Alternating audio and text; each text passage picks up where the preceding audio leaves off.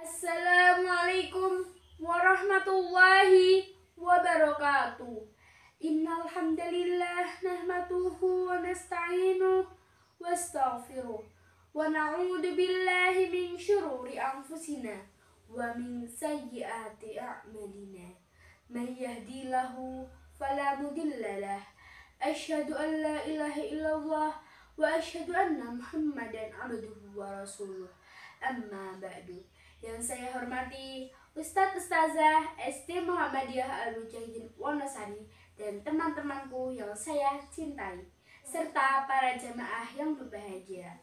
Pertama-tama, marilah kita panjatkan puji dan syukur kehadirat Allah Subhanahu wa taala karena atas limpahan dan rahmatnya kita bisa berkumpul di sini dengan keadaan sehat walafiat. Perkenalkan, saya Azahra Felicia Floreta dari kelas 4 Semat ST Muhammadiyah Al-Mujahidin Wonosari.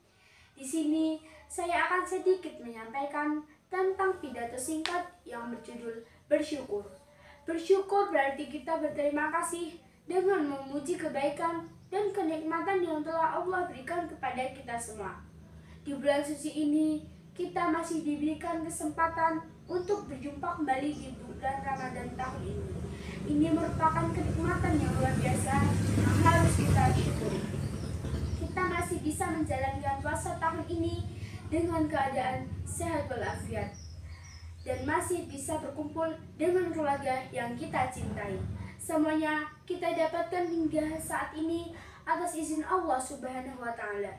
Oleh karena itu, sudah sewajarnya jika kita memanjatkan rasa syukur berterima kasih dengan diberikan kesehatan, rezeki cukup, dan tempat tinggal yang nyaman bersama orang-orang yang kita cintai, yaitu ayah, bunda, adik, dan keluarga besar kita. Demikian pidato yang bisa saya sampaikan. Kurang lebihnya mohon maaf. Billahi taufiq wal hidayah. Wassalamualaikum warahmatullahi wabarakatuh.